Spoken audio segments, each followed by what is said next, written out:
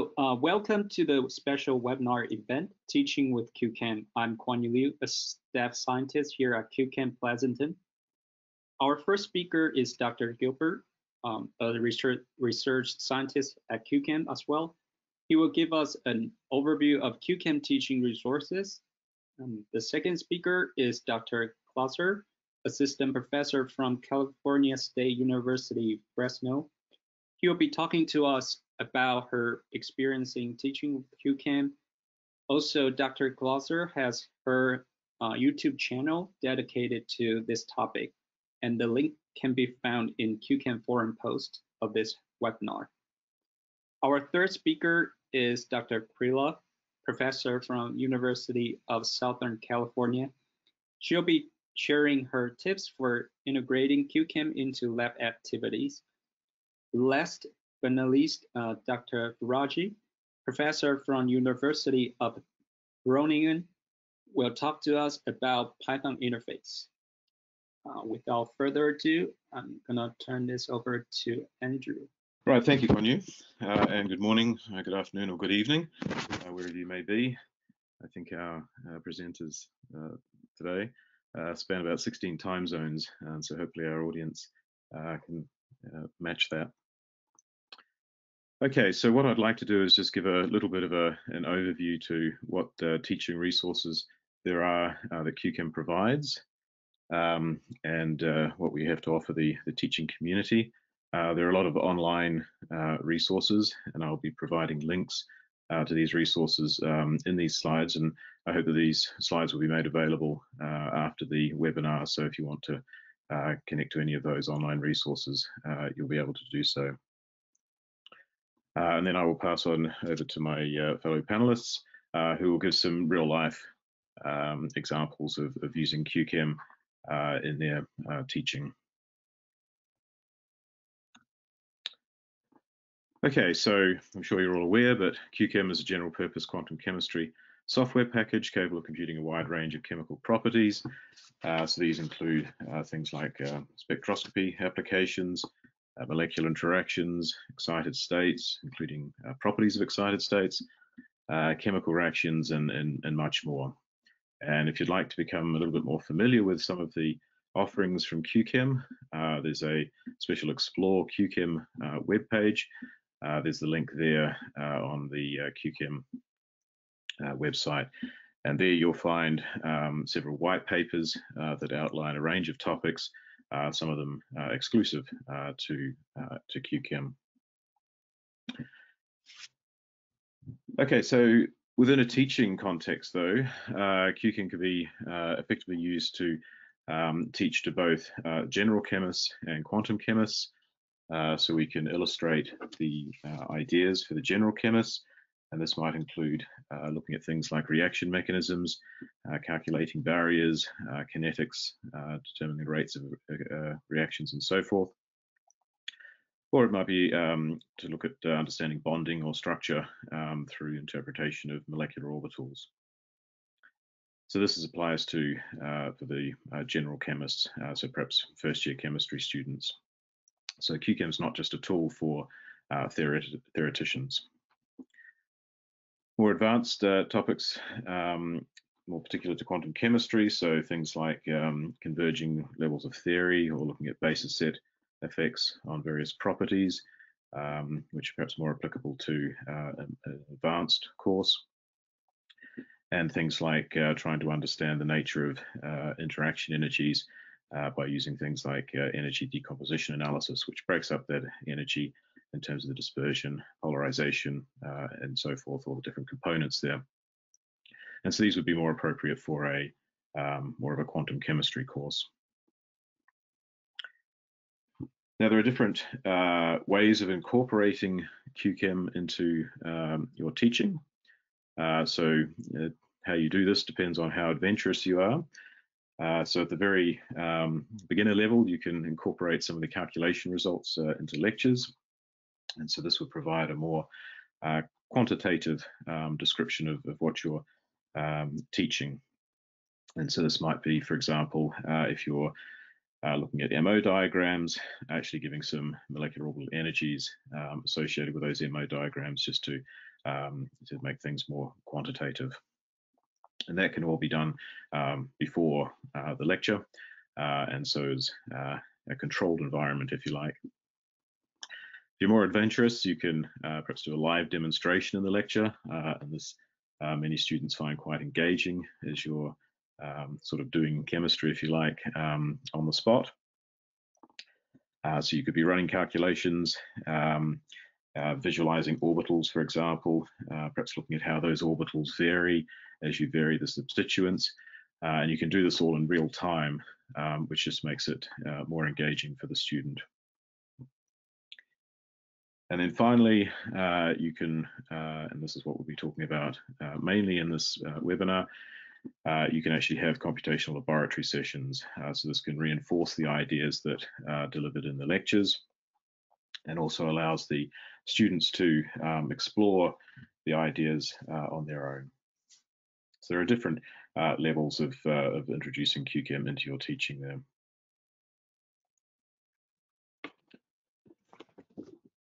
Okay, well, if QChem is the uh, engine, then um, IQMOL is perhaps the, the Chrome um, that provides the um, appeal to many students. Um, it's perhaps a little bit more engaging for them uh, than trying to interpret input and output files. So what is IQMOL? Well, it's an open source molecular editor um, and visualization package, and that runs under most of the um, main operating systems, Windows, uh, Mac OS, and Linux. So there are pre-compiled binaries available, uh, and IQMOL has its own website, uh, iqmol.org, and you can find these pre-compiled binaries uh, on that website. And uh, you can encourage students to, uh, to visit that, download the, um, the installers, and have that uh, IQMOL installed on their, their home laptop or, or desktop. So as a free piece of software, there's no licensing issues there, uh, and yeah, students are, are, free to do that in, uh, in their own time if they wish. And what IQMOL does is it provides a more um, fun and engaging uh, format for uh, interacting with quantum chemistry and the results of quantum chemistry calculations. So the way that it does this, it has a, um, a free form, what I call a free form molecular builder, which is just point and click, uh, where you can build up your molecules in an intuitive fashion. Uh, there's a built-in library which allows students to explore other uh, chemicals that they um, may not have come across.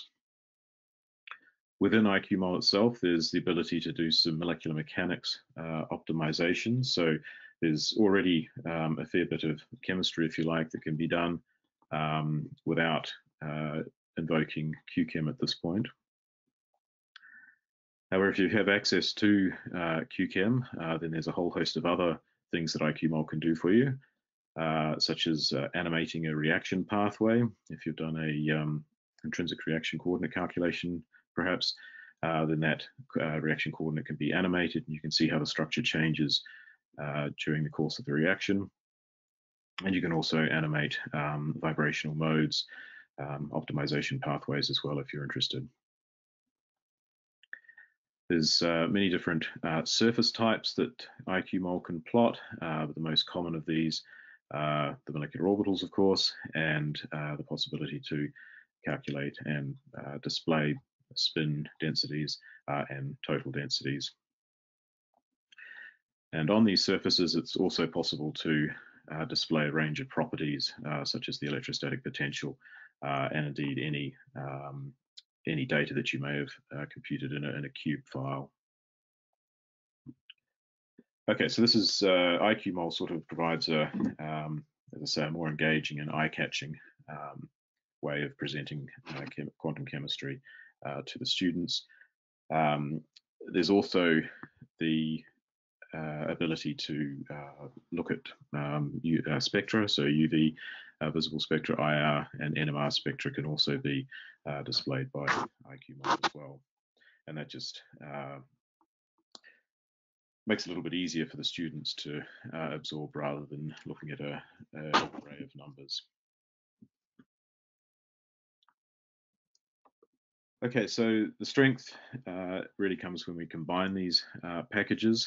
And although IQMOL is a standalone program, and as I mentioned, you can do uh, quite a lot uh, just within IQMOL itself, uh, but it's really been written to work uh, hand in hand with QChem um, and works with the QChem workflow, which goes from building your molecular structure, setting up of QChem input files, uh, submitting your QChem jobs, and then finally analyzing the results uh, from the QChem calculation. And these two packages work well together because there are several QChem specific features within IQMOL, uh, including a comprehensive QChem input file generator. So most of the options, the uh, REM options that you use to control the behavior of QChem have been incorporated into IQMOL. Uh, and these options have been organized and presented in a hierarchical way. Uh, and so beginning students are only exposed to uh, the bare essential uh, options, if you like. Uh, and then as you select various uh, calculation types, for example, an optimization, then additional panels become available where with the appropriate REM settings to, to affect that calculation.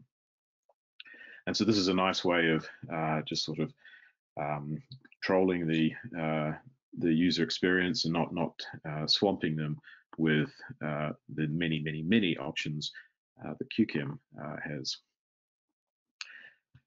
And so IQMOL will actually generate the input file, QChem input file for you.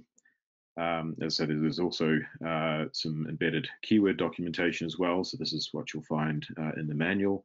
Uh, it's uh, also available uh, within IQMOL so that you don't have to keep switching backwards and forwards.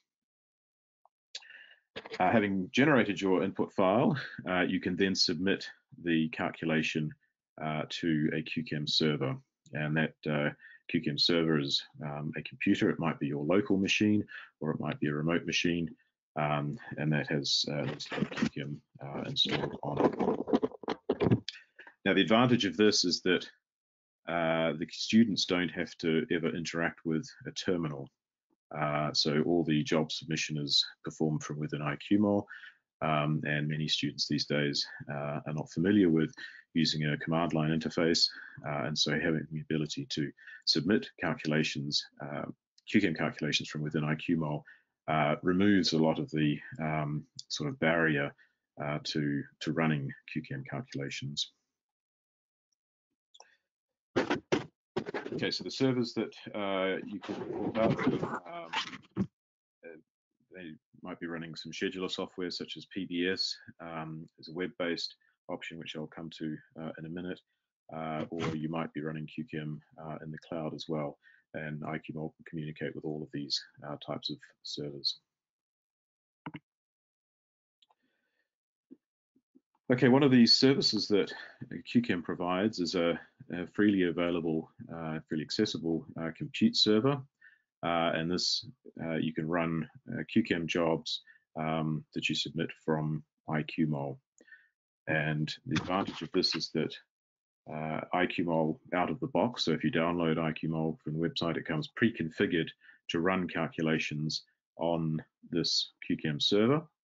and so that means that there's no configuration that the student has to, uh, to, to, worry about in order to actually run some uh, QChem calculations.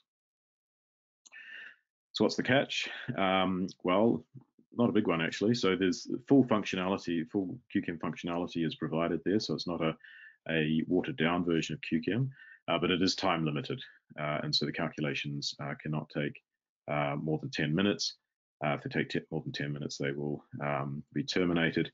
And this is actually um, a good thing, I think, because especially in a teaching environment where students are perhaps unfamiliar with the uh, consequences of some of the options that they're selecting, then um, they may very easily submit a job that could take uh, a week, and uh, that's not what you want. So having that 10 minute time limit um, is, is not a big uh, problem, and you can get quite a lot of chemistry done uh, in that uh, 10 minute time limit, as you'll see.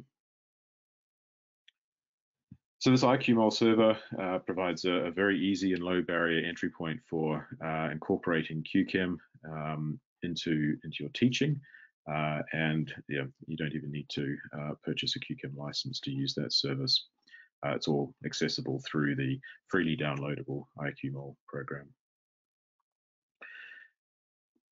And this, uh, this server uh, is ideal for uh, running lab courses, and you'll see some of the, um, we'll talk about some of the teaching material and labs that have been run on the IQMOL server later on in this webinar.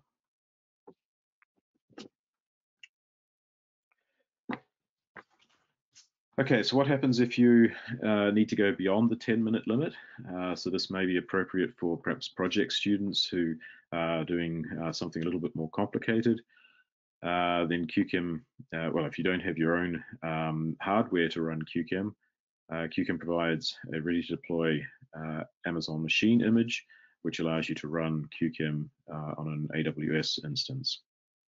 Okay, now there will be um, licensing uh, costs associated with that, and there'll also be uh, fees for actually running the, the instance itself.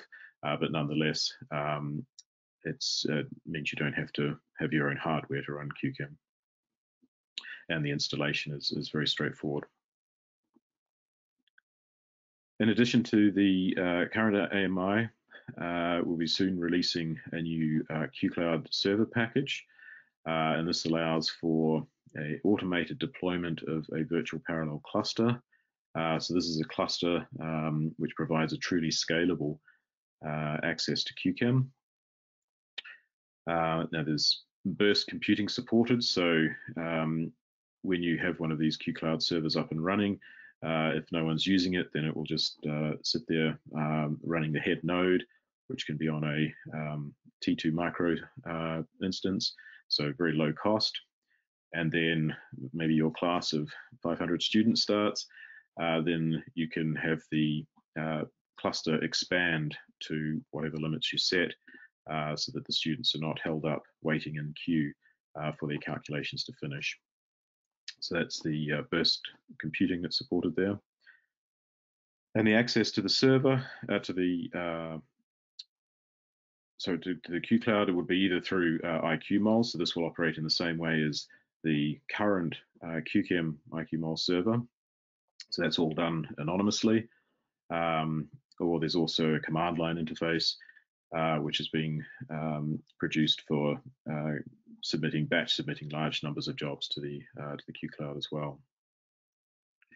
One of the advantages of uh, the QCloud server, uh, especially in a, a, teaching environment, is that you can set up uh, multiple uh, accounts uh, that will only have access to the QChem service itself. And so you, you don't have to create individual accounts for the students on the, on the actual instance. The user management is done um, separately, and so the students don't have any um, any direct access. They can't connect to the uh, the server itself, um, which is a, a security feature.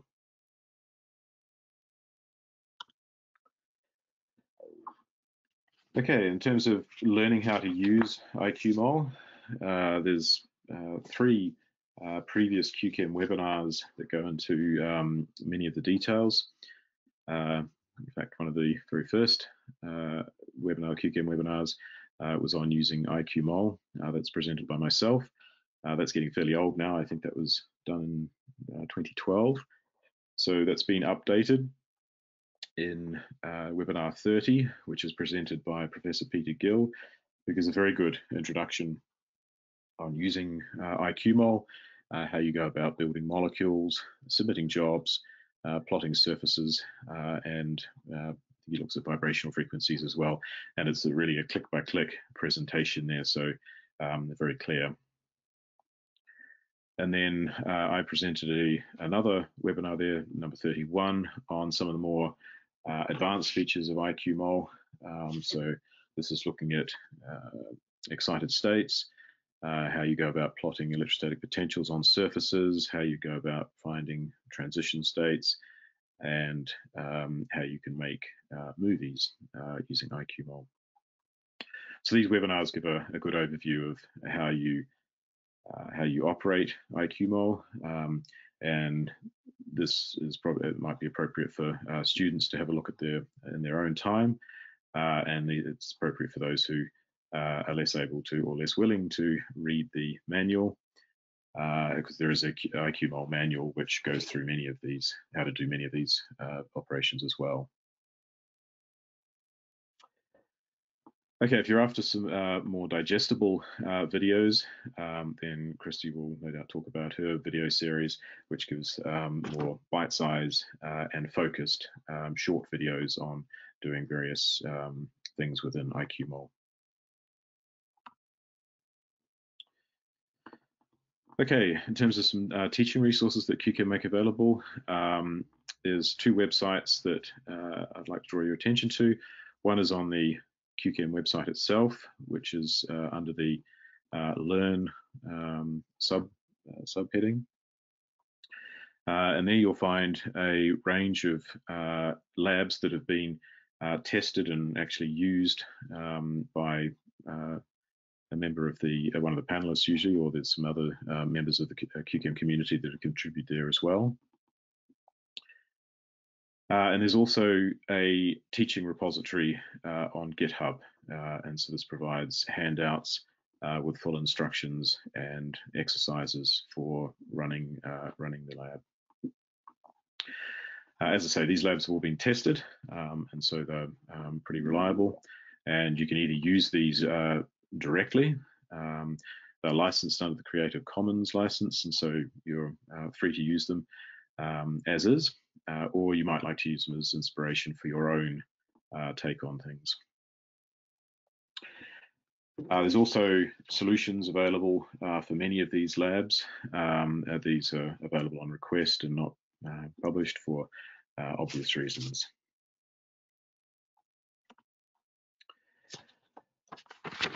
Okay, other uh, sort of teaching resources that QChem has. Um, there's an extensive library of webinars that are available on uh, YouTube. Um, this will be one of them. Uh, last time I looked, there are over 50 webinars that cover a range of uh, topics from exploring reaction pathways, solvation methods, uh, ab initio molecular dynamics, constrained DFT, you name it. These provide some in-depth presentation on uh, sort of advanced topics. Uh, and these are um, good for providing some background uh, for, for students. Uh, they can learn about uh, some uh, perhaps more advanced topics, or you could even use them as a guest lecture. Um, and in this day of online learning, it's pretty easy just to, to drop one of these webinars in as a, a guest lecture.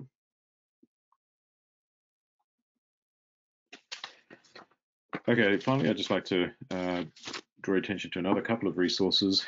Uh, one is the QChem user forum. Uh, so this is on uh, talk.qchem.com. Uh, so this is a community-driven forum where you're able to ask um, a range of questions, uh, and these will be answered by the uh, by the QChem community. so these questions might be anything from how to run a particular type of calculation, um, perhaps if you're running into problems running calculations, you can get some support there uh, or if indeed you need some help with interpreting the output uh, from QChem, Uh, these will all be appropriate for uh, posting questions to that forum. Uh, and just finally, um, I'll point out that it is possible to run QChem uh, through the WebMO package. so this is an alternative GUI for instead of using IQMOL. and this may be appropriate for uh, cases where there are problems uh, with students installing uh, the IQMOL software.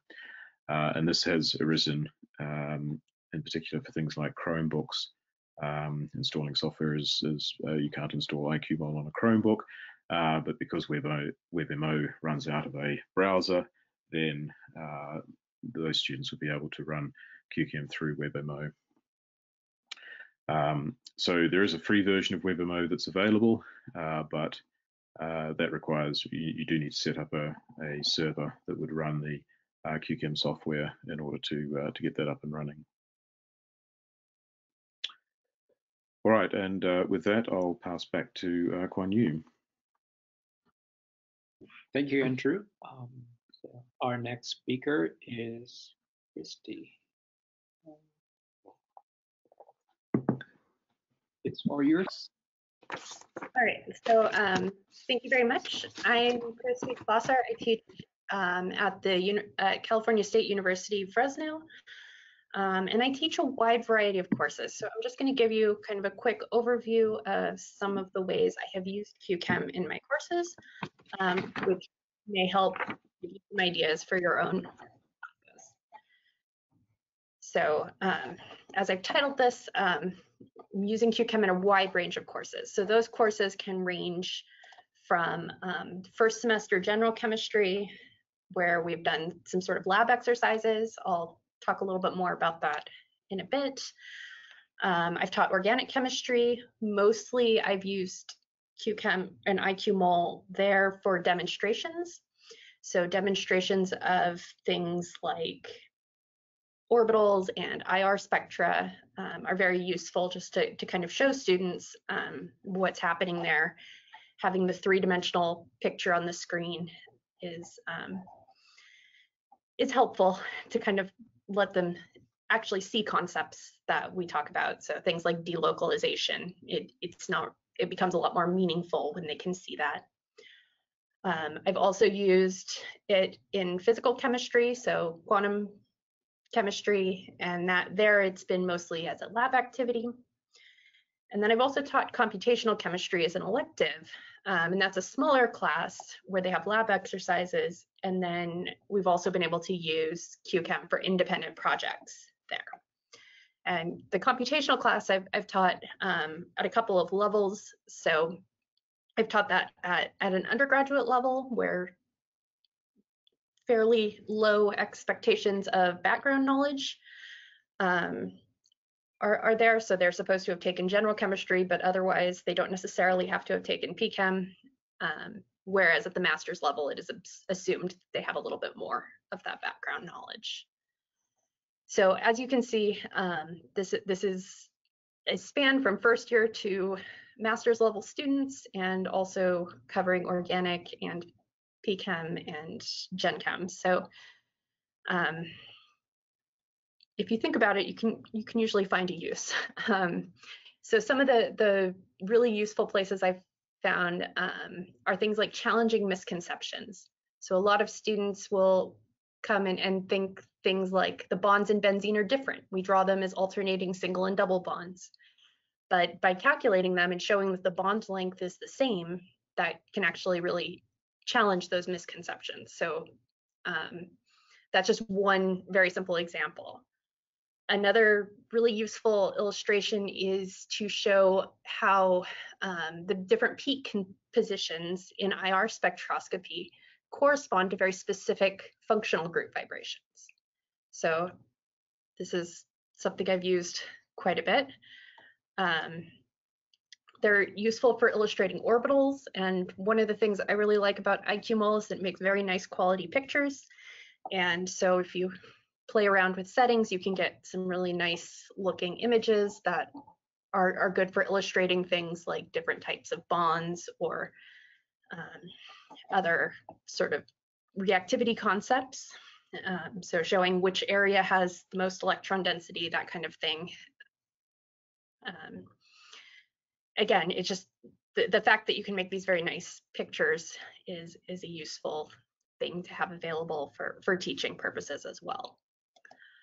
Um, and then just a few resources. So Andrew mentioned this briefly, but I do have a series of short intro to IQMOL videos.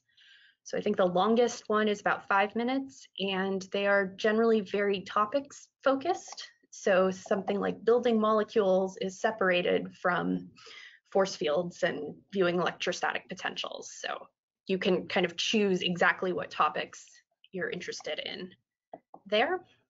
Um, I've also written a basic introduction to computational chemistry, which is not specific to um, to IQMOL and QChem, but is sort of more of a general introduction that is appropriate for a sort of general chemistry level audience. So first semester um, students can generally absorb most of this. Um, so, so this is, again, just something you could look at or use as a resource. Um, it's available on my, my website right now. Um, I will also hopefully be putting up some more stuff there, but um, but basically these are trying to give students an appreciation for what goes into a, a calculation, I think is, is a very important um, aspect of it and a lot of times glossed over. So you'll you can find some some labs and stuff out there that that basically don't really tell you what's going on, what kinds of things that you need to consider. This document tries to do that in a simplified way that gives enough complexity that they can appreciate it, but not so much that they run away and hope to never hear anything about this again. Um, and then I've also, as I mentioned, used it, used QChem in various labs. Um, this is one that, or the, the start of one that I developed um, that effectively is just on hydrogen orbitals. And so atomic hydrogen and H2. So very simple, but actually really presents some challenges for lower um, level students who don't necessarily have that strong grasp of bonding yet and, and those kinds of things. And so finally, I just want to wrap up in the next minute or so with um, a couple of challenges that we have encountered and sort of how we've dealt with these. So one challenge is with large classes. Um, in really large classes, you're, you're bound to end up with somebody that has a Chromebook or some other odd operating system that cannot run IQmol, as was mentioned. Um, so generally there, if you have really large classes, it's helpful to either have an alternate computer lab or a web-based resource. So WebMO might be one of those options. And then um, the other issue that we've run into is connecting to campus servers. And so this is not really a direct IQmol or QChem issue, but more of a security settings at the university issue. Um, so we have to be we have to connect through a VPN connection, and students basically don't have access to that by default. So there's some communicating with IT and stuff that that has had to happen um, for. Uh, sorry, that the we've we've had to work with IT a bit to get around the VPN issues. Um, and if you're limiting yourself to the 10 minute jobs on the IQmol server, that's generally great and doesn't require any of these difficulties. Um, but for projects particularly, I did ha have to kind of work with IT and my students individually to really get that going. Um, so that was through the through the um, university firewalls and stuff that, that we had issues. So with that, I'm going to wrap up and just say that I've found this a very useful tool and um, can be applied in a wide variety of contexts.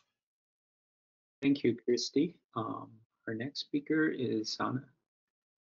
Okay, so I can go next. I think Andrew was supposed to go after Kristi, but I can show my um, uh, slides. So uh, I'm Anna Krylov teaching uh, at USC and I usually teach advanced class uh, every fall. It's called Chem 545 and the theory and practice of molecular electronic structure. So this is uh, designed for graduate students and mostly for PChem graduate students. So I require advanced graduate level PChem to be taken before that and mass methods. So, but uh, you know, every now and then I will have people from engineering and from organic chemistry and uh, sometimes even advanced undergraduates when they're really good. So uh, what do we do? Uh, we cover basic concepts and fundamentals and we go in depth into methods. So we really try to teach students how different approximations are working, what physical ideas they are based on, and help them to develop judgment of how to intelligently use quantum chemistry in a responsible way to answer research questions. So what do we do? Uh, as a uh, course activities, there are of course lectures which uh, are heavily supplemented by analytic problems and a variety of computational labs. You will find a number of these labs on QChem website and I'm constantly developing new labs. And the course also includes a mini research project and this is big fun. That's the main attraction. So projects are all individual they are crafted for each student based on their research interest, what they do in the lab, and why they're interested to learn quantum chemistry. And very often these projects grow and mature beyond the class and uh, become research papers. And uh, some students become really devoted quantum chemists uh, on the side, uh, in addition to their own uh, experimental research. So class enrollment varies from like 5 to 20 students depending on the year. And uh, the way um, I uh, use uh, QChem and IQmol, so I require students to install IQmol on their laptops and desktops. Actually now mostly laptops because I want them to bring laptops to class sometimes and having class activities. Now UC has a site license for QChem, and it's really sweet. It means that QChem is installed on our high performance computing clusters where students can run serious uh, calculations and uh, all department members can install QChem on whatever device they want. So some students end up installing QChem also on their laptops and desktops and that gives them a lot of flexibility. So to guide people through how to navigate with our ITS, I maintain a web page where I uh, we put uh, very clear instructions how to request allocation, how to navigate through the queuing system, how to work with you know all these intricacies. So and that you know keeps updated because ITS keeps constantly changing the way they run things. So there is this component. So uh, what else? Uh, in addition to labs, I do sometimes in class demonstrations and I will show you an example because I think it really makes classes more engaging and lively. Um, so what students use, generally we start with using QChem server, even though we have our site license, but it's just so easy to use, such a low barrier that, you know, no one wants to bother to do anything else. So students do can do all the labs with uh, the QChem server because all our labs are shorter than 10 minutes. And then when they start working on their projects, it's only then they start to work with HPC facility or with their lab resources. So maybe one example I wanted to show is relatively recent addition to course portfolio, um, it's a group activities that students are supposed to do in the class. So, and it's uh, dedicated to relatively simple concepts, but uh, as I discovered over the years, you know, the simplest concept costs most grief. And it's most important to get students with the basic concepts first before you start uh, exposing them to advanced uh, electron correlation or excited states. So the lab is about bonding. It follows um, on a homework lab that uh, tells students to do calculations, analyze molecular orbitals, and figure out what is the ring structure, what is the bonding pattern. So they have to understand what sigma and pi means and so on. So in this activity, we crank it up a notch and look at a couple of interesting systems, open shell systems, and try to figure out what do unpaired electrons do. And what the slab shows that unpaired electrons are not really unpaired and you know can give some interesting bonding patterns. So students do these calculations in two or three groups depending on uh, how large the class is and then they discuss within each group what they get, prepare a brief report, and then by the end of the class, which is hour and a half, students, uh, selected person from each group shows their results. And in this way, the whole class can see these examples, and you know it's it's fun. Okay, so here is an example of what one group is doing. It's one of my favorite systems, uh, radicals, CH3, uh, methyl radical and CH2Cl chlorinated one. And you can compare the you know electronic structure with the parent system CH3Cl which is a closed shell system. And uh, what students are supposed to do you know they have instructions to analyze molecular orbitals and figure out bonding pattern. And um, in, uh, what is interesting is that um, they discover that this unpaired electron that sits on carbon, pz electron, in CH3 it's really unpaired, but in CH2Cl it does participate in bonding and makes the CCl bond of a partial double character. And then, um, yeah, so you know, students can compare consequences of this bonding by looking at structures and frequencies and comparing them with all these three molecules. So these are just orbitals that show it. This is unpaired electron in CH3, which is pure PZ electron. And here you see that in CH2Cl, HOMO minus one is really looks like formaldehyde type, you know, pi orbital. And then SOMO singly occupied orbital has this antibonding pi star. So you have three electrons on these orbitals, and then you end up with a bond order of 1.5. And um, so uh, once students figure it out, they can actually see that this is for real and can uh, see that, for example, frequency of CCl vibration is much stiffer in CH2Cl than in CH3Cl. So there is a lot of fun you can do here. All right, so I think that's all what I have. And uh, you can find this activity and a variety of labs that start from basic stuff like that, but go then into more advanced concepts on the QChem uh, website. And I will stop sharing now, and it's back to Kuan Yu. Thank you, Anna. And sorry I skipped uh, Andrew um, mm giving this back to Andrew. Okay, thank you, Kuan Yu. Um, all right, so I'd just like to share uh, my experience with uh, developing and running a uh, full semester lab course uh, at the Australian National University. So there's not a lot of uh, quantum chemistry. This is in fact the only quantum chemistry based uh, course that ANU offers.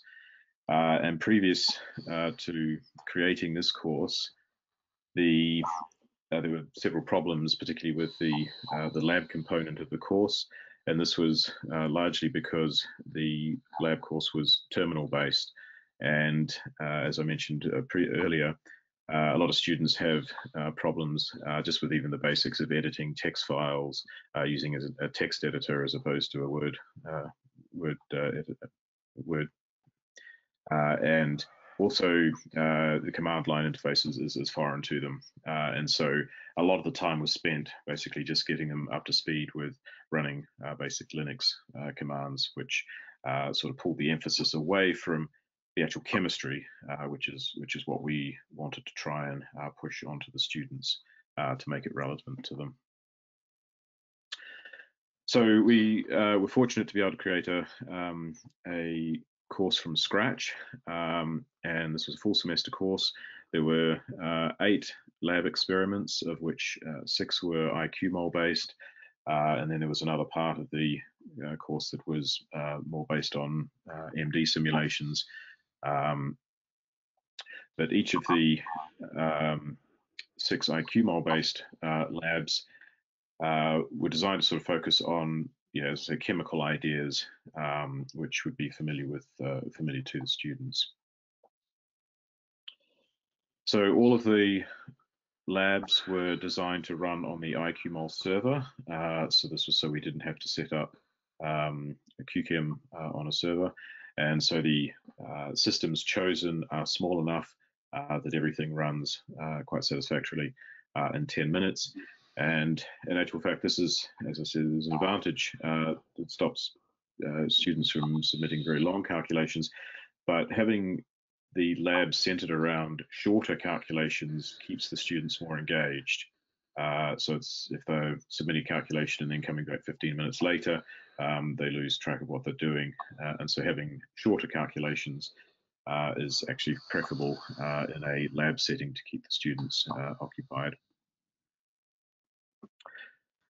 So the way we uh, set the lab up was to uh, run it within a um, on-campus computer lab, and so this allowed us to pre-install the software uh, and test it to make sure that it was uh, working. Uh, and uh, we this meant we didn't have any problems with with installation.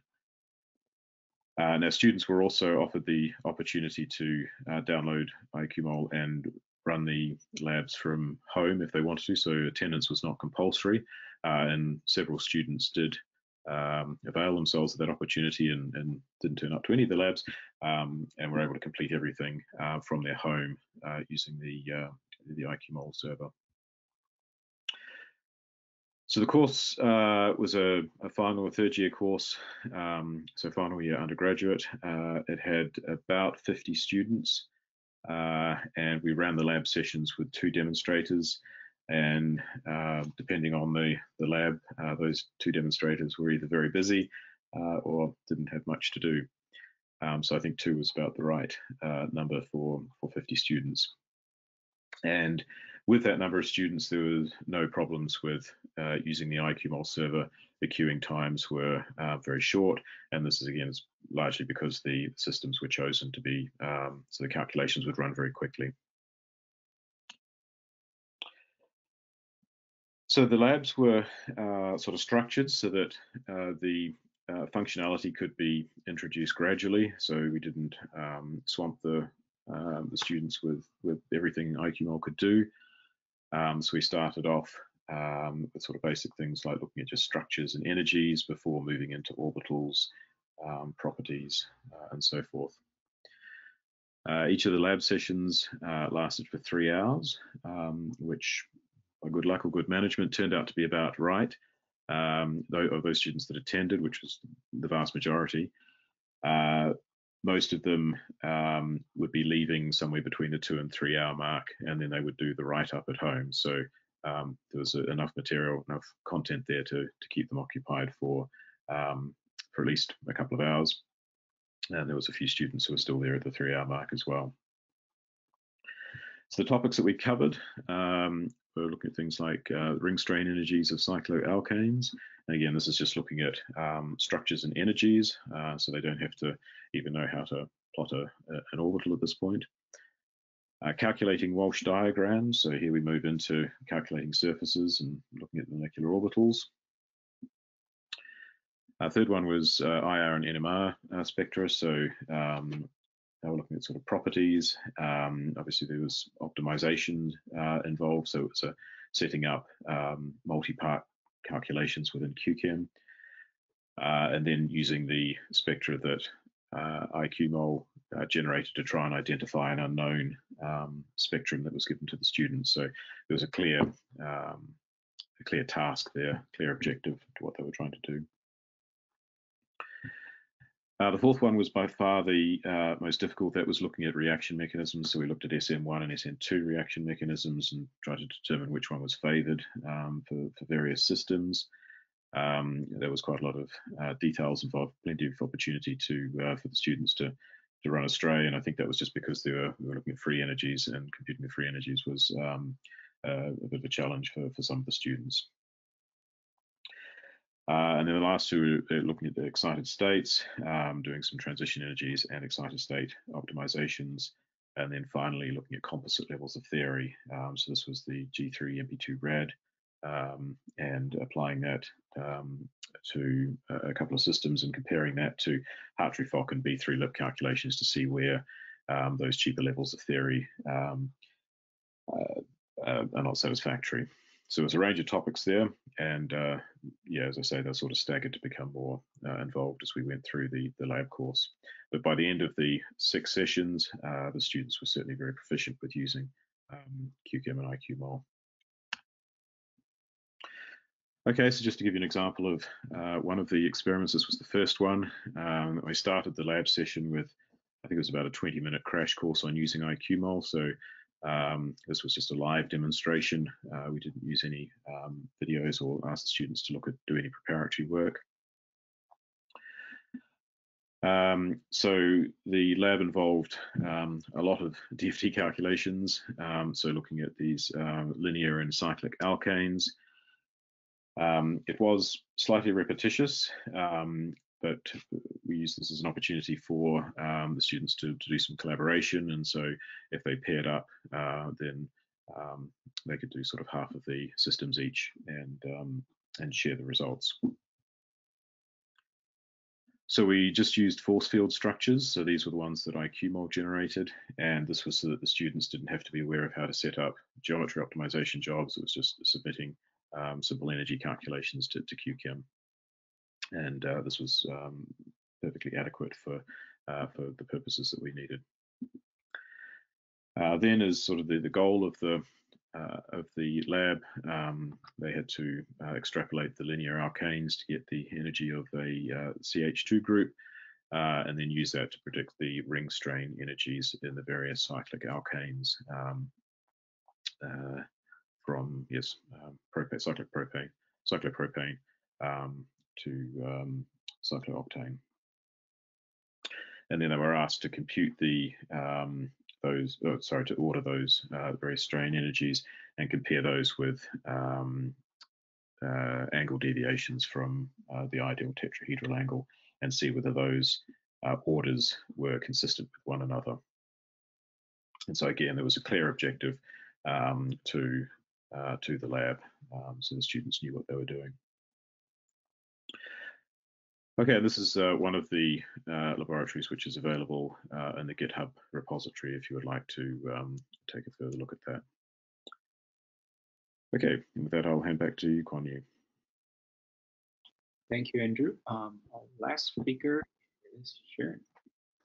So let's switch the continents, come to Europe, and to uh, let's see how we use QChem and IQmol for teaching to students in University of Groningen, the Netherlands, traveling from different country, from one continent to another, many things changes, but the language of science is universal. So I use QChem and IQmol in many contexts, similar to the other panelists uh, for many levels, like a molecular quantum mechanics course for undergraduate level course that we teach Hartree-Fock, all post-Hartree-Fock methods and based the concept of basis sets. So it's a playground for all the students to download IQmol. For this course, we use the QChem server. So they, in each lecture, when they learn a specific topic, they also use IQmol to make sure that they understood and to see in a practice. Also, we receive a lot of bachelor and master student in our research group to do projects, um, and they use uh, IQmol for the first two weeks uh, and play around uh, with the specific um, QChem lab uh, that is in the QChem website. Uh, depending on the project they're working, they will get a certain uh, group um, to work on and um, so far they are very happy with it and they're re really going through the IQ, the QChem computational lab. They are ready to do their actual research after, let's say, some of them after a week or the maximum of two weeks, they are ready to go. And uh, this year we introduced um, a new topic that was a new course that is a topics in chemistry with Python. It's also an undergraduate course. So it was very interesting to see that one of, so there are different assignments such as a spectrum decomposition, running, uh, writing a specific, uh, like a small Python script for uh, molecular dynamics or uh, neural network. And one of the assignment was about the normal mode analysis. So they we give students um, a Hessian in a certain uh, format they make it they make it mass weighted they diagonalize it and they get harmonic frequencies and so on. And they write a mini report about that assignments about the code they wrote and the data they obtained and the presentation all is done with python. It has nothing to do with electronic structure. It's really the, the topic in chemistry. And it was amazing that all the reports without exceptions the students who choose that assignments they they had the, in another course, molecular quantum mechanics, they were introduced to IQmol they used um, IQmol and QChem server to test their, um, piece of code they wrote. So it can also have different. So it was an application that where I didn't expect, and it came purely from the student side. Another aspect is the, is how useful is these uh, teaching methods that was introduced by other panelists uh, is actually make the collaboration between theoretician and experimentalists stronger because I always emphasize when, they, when PhD students from experimental lab comes and they have a certain compounds and they're looking for certain properties or they're interested to know some mechanistic or something in a more atomistic level, I always, my question is that do you want us to do the service for you? Are you really interested?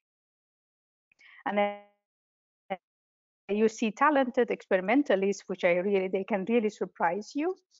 And then uh, I always, in order to test how, how interested they are, are they, are they only interested to get a number and put it in their paper that they are finalizing, or they're really interested to the topic? I just tell them, okay, go and download the IQmol, do this the group uh, exercises or computational lab that is related to your project and come back in a week. And those were always leads to a strong collaboration as uh, Gianni, that is now a PhD student, shared between um, organic chemistry group of um, Ben Feringa and um, uh, polymer group and my group.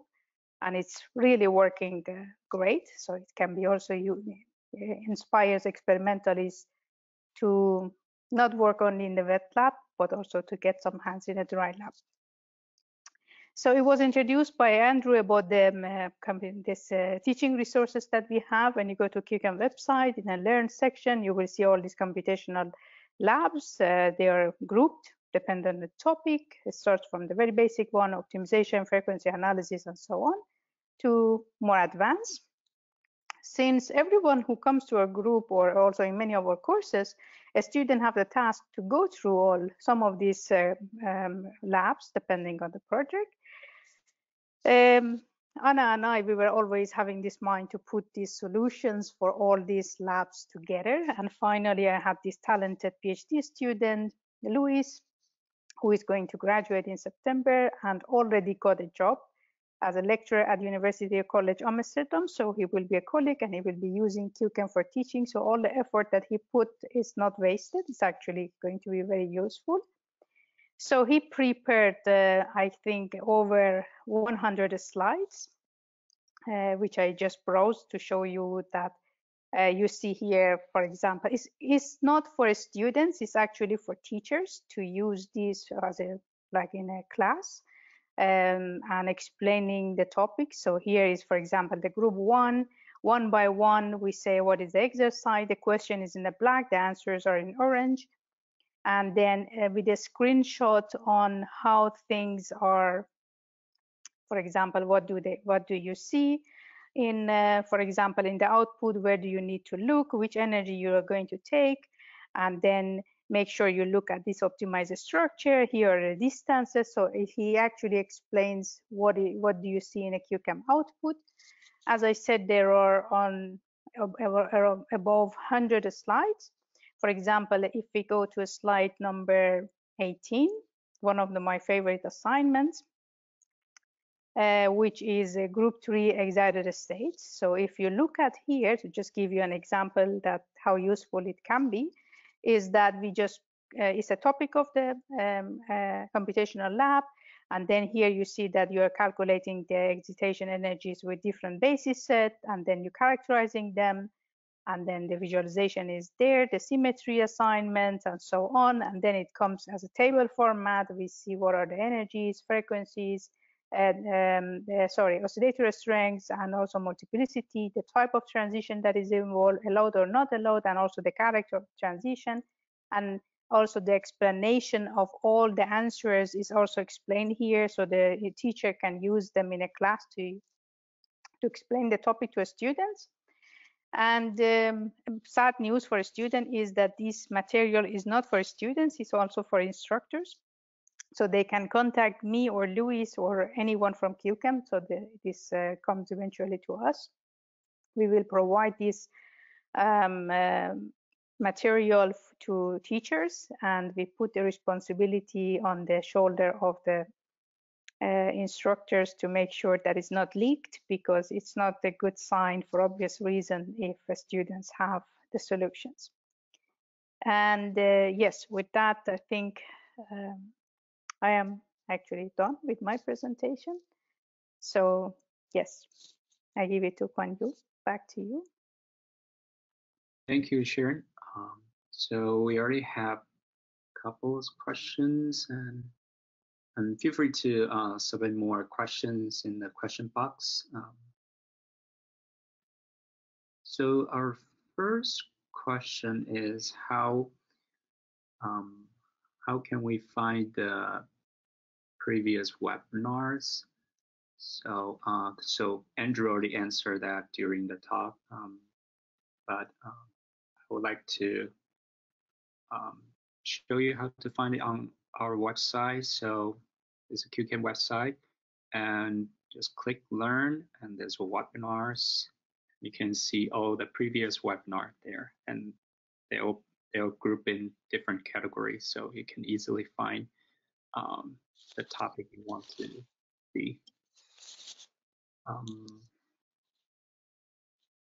there's a uh, comment to um, installation of IQmol on Chromebook. Um, one of our audience um, saying that he was able to um, um, build it uh, IQmol from source um, on Chromebook. and thank you for pointing that out. but I think our goal is to resolve that problem, and so you don't have to uh, build it from source, right, Andrew? If I'm not misunderstood. Uh, right. So I guess if um, some sort of binary can be made available, that's obviously preferable.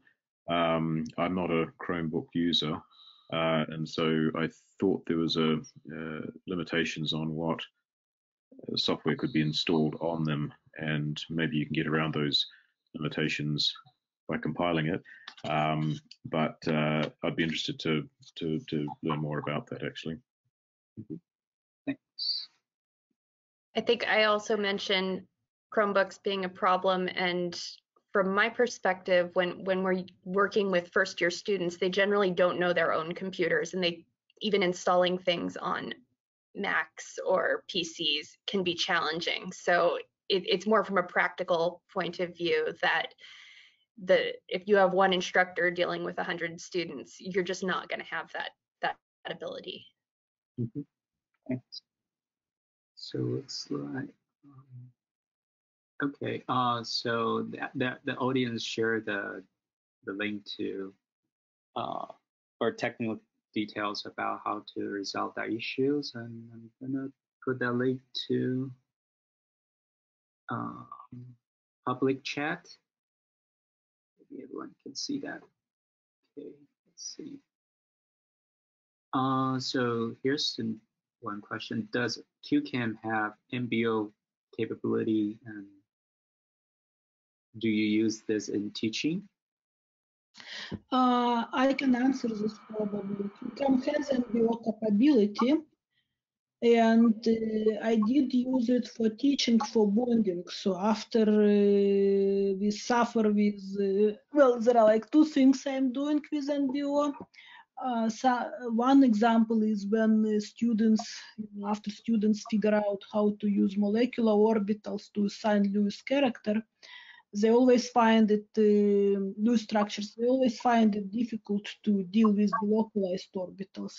And then, you know, I teach them NBO, and then NBO can actually give you exactly what bonds are. So they like that. Now, I also use NBO when we talk about uh, partial charges.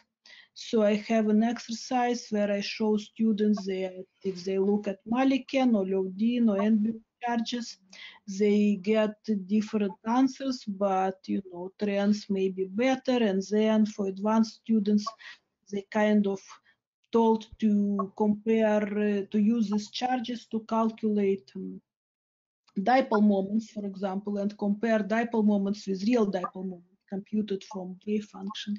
So so yeah, so these are you know all good things. I do not use more advanced features of NBO, uh, but uh, bond I can, yeah. charges are quite useful. Yes, I also would like to add that the, in a, a QChem website, when you go to the computational lab, the group number four is Advanced Molecular Orbital Theory Bonding Concept, where we do what Anna explained on formaldehyde. So in principle, one assignment is already prepared that addresses NBO. Thank you. Um, our next question, uh, which is the typical system size uh, that students can run within 10 minutes limit? Well, it depends, of course, on the level of theory. I know that uh, I had students to run uh, two photon cross sections on butadiene with coupled cluster methods on IQmol server. So it's kind of on the uh, high end, you know, it's barely enough time, but it runs. Uh, if you do DFT and uh, moderate basis set, you can have actually reasonably sizable systems for these exercises. Thank you. Again, in the computational lab of QChem website, you will see that, for example, to calculate the excitation energy of uh, purine family of molecules, they're relatively large. So in principle, depend on the calculation you would like to. For example, biphenyl is the size that is already in QChem uh, computational lab.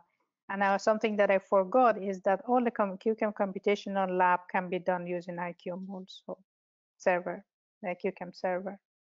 Looks like we don't have more questions. Um, so if you have more questions later or you're watching uh, this video from YouTube, uh, feel free to post your question in our forum, uh, talk.qchem.com.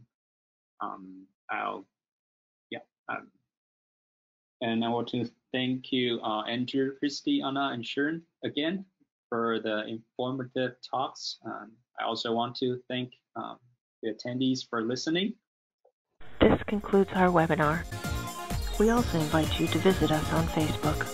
Thank you for your participation and see you at the next webinar.